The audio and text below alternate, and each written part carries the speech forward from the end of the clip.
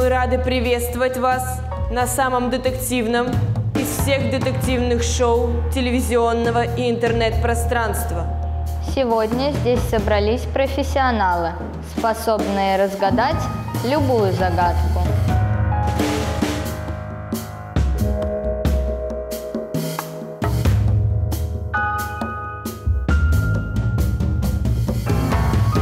Мы заглянули в будущее, чтобы узнать, чем же закончится наша интеллектуальная дуэль. Признаемся, увиденный вариант нам не понравился.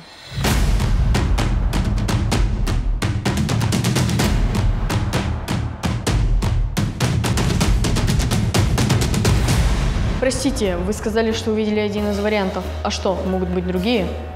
Да, ход событий возможно изменить. Главное понять, где модераторы или участники допустили ошибку и вовремя исправить. Так что сегодняшняя игра для всех непредсказуемая. И для участников, и для ведущих.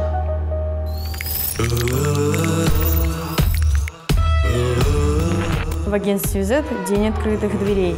Всего один раз в году наш параллельный мир пускает всех желающих или особо любопытных. Правда, ненадолго. Остаться здесь и стать спецагентом могут лишь те, кто пройдет испытание и победит в детективном батле.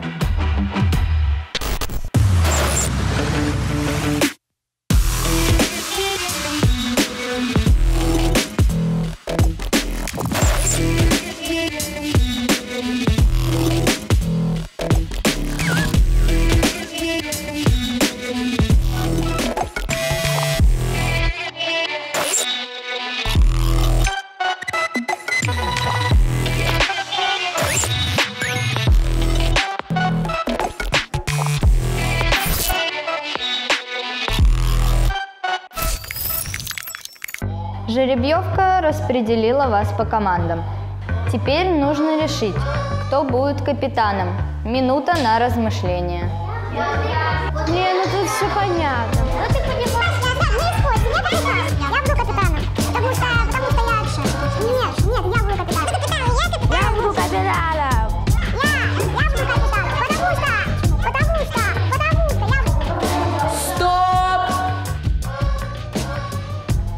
Мы передумали.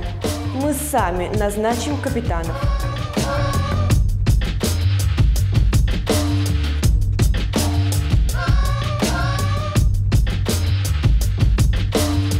Вашему вниманию предлагается видеоистория, в которой на первый взгляд происходят непонятные события.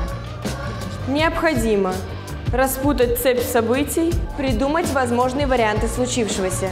Приведу пример. Внимание на экран. Представим ситуацию.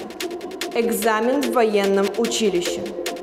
Один из студентов берет билет и начинает готовиться к ответу. Но через несколько секунд, ни слова не говоря, дает зачетку преподавателю и покидает экзамен с отличной оценкой. Вопрос. Почему педагог поставила отлично? Она ему задолжала денег. У нее просто настроение хорошее. А вот и правильный ответ. Это был экзамен по азбуке Морзе. Преподаватель стучала ручкой по столу и выдала вот такое сообщение. Любой может сейчас без подготовки получить отличную оценку. Понятно, задавайте уже свои вопросы, уже не терпится на них ответить. Нельзя ли повежливее? Вы все-таки в приличном обществе. Фу ты, ну ты какие мы нежные. Что? Я сейчас тебя... Тихо! Внимание на экран. Случилось так, что один человек долго не мог заснуть. Он вертелся, вставал, пил воду, ходил по квартире. Затем взял телефонную трубку, позвонил кому-то. Через пару минут он сладко спал. Почему? Что же произошло? Обсудите ответы с другими участниками Подберите как можно больше версий. и выскажите самые нелепые. Ну а правильный ответ мы узнаем через несколько минут. А пока прервемся на нерекламную паузу. Слышали ли вы о фальшивых документах? А знаете ли специалистах, которые могут отличить настоящую подпись от фальшивой? Сегодня мы поднимемся к одному из них и узнаем, как это происходит.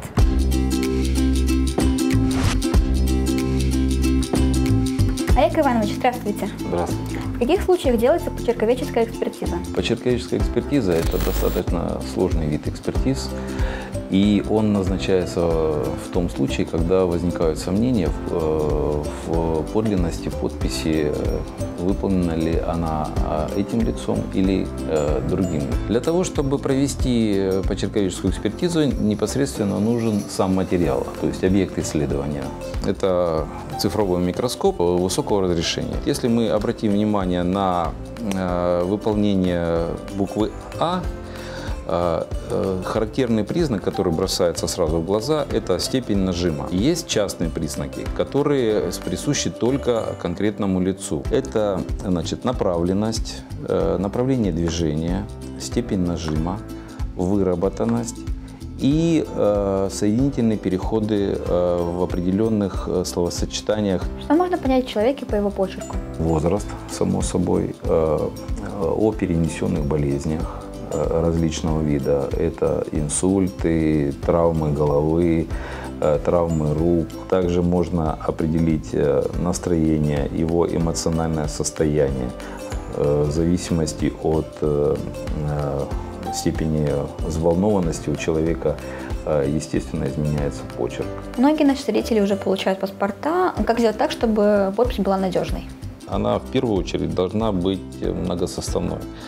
То есть что это такое? Чтобы присутствовали и левоокружное, и правоокружное э, движение. То есть, грубо говоря, вот она правая пошла, и потом левая окружная. И тогда вот у вас какая-то там подпись. Второе, э, это э, чтобы подпись была раздельная. То есть, если мы, допустим, выполняем первый инициал там какой-то и обязательно ставим точку. Вот этот вот фрагмент, он тоже очень сложен для э, воспроизведения, если захотят э, поделать вашу подпись. Олег Иванович, спасибо большое. Это было очень интересно. Мы очень много узнали про почерк. Пожалуйста, обращайтесь. Спасибо. Ну что ж, какие версии были в вашей команде? Я считаю, что в воде было снотворное. Я считаю, что за стеной была музыка. Я считаю, это все бред, но я за снотворное. Увы, но правильный ответ такой. За стенкой играла громкая музыка. Он позвонил соседям, попросив их сделать потише. Почему ты выбрала именно ее вариант? Что хочу, то и выбираю. Угомонитесь. У нас следующий вопрос и следующая ситуация. Перед сном девушка спрятала свою туфлю в шкаф. Зачем? И по традиции, пока длится обсуждение, мы смотрим интереснейший сюжет. Думаю, все мы видели захватывающие кадры, снятые с высоты где-то в фильмах или телепередачах. Все это снимается с помощью дронов, а о том, как это делается, мы с вами сегодня и узнаем. Ща как полетаем.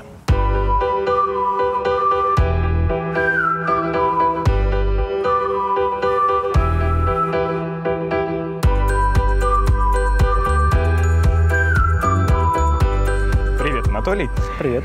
А в каких случаях операторы используют дрон?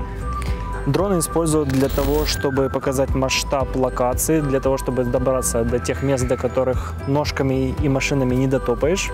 Вот это относительно безопасный способ и более-менее дешевый по сравнению с вертолетами и прочими профессиональными штуками. Нужно помнить, что квадрокоптер э, это средство, которое может нанести достаточно большие травмы так э, и пилоту, и окружающим людям. Поэтому нужно сначала научиться летать на открытых пространствах и потом уже развивать навыки высшего пилотажа. А есть ли запрещенные для полетов зоны?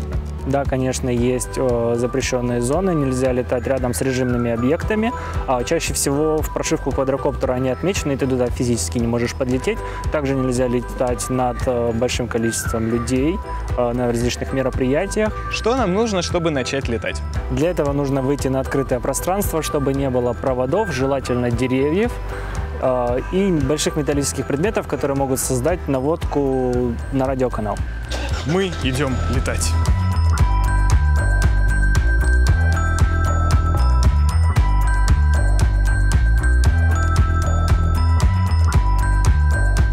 Ну, место мы нашли, а как им управлять? Управляется дрон с помощью пульта и подключенного к нему телефона. Либо иногда пульты бывают вместе со встроенным экраном. старт записи. Антенки лучше выдвигать, так лучше будет качество сигнала. И, соответственно, держать дрон в прямой видимости, чтобы антенки смотрели на него. А, так, люди отошли, все отошли. Смыкаем стики. Вот, для того, чтобы подняться, нужно нажать правый стик вверх. О, ну, короче, оно полетело. А, Может подниматься до безопасной высоты. О, деревья. Вот, соответственно, вверх-вниз. Нам можно в пролет вдоль э, какой-то местности. В данном случае у нас есть речка, мы попробуем полетать вдоль речки.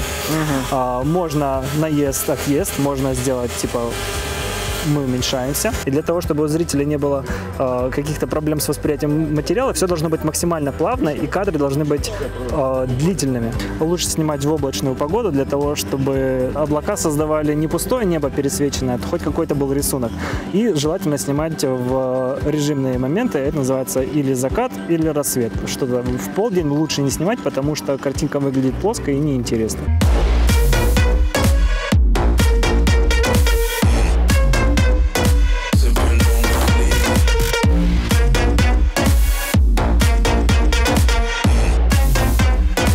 Ну а мы благополучно сели. На этом мое обучение пилота только начато. И я считаю, что мы уже сделали достаточно много красивых кадров. Но на этом у нас все. До новых встреч. Пока! Я,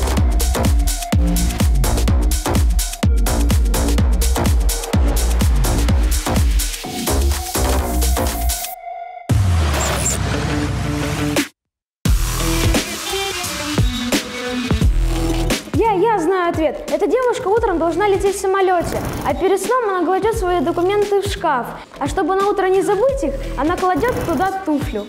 И это правильный ответ.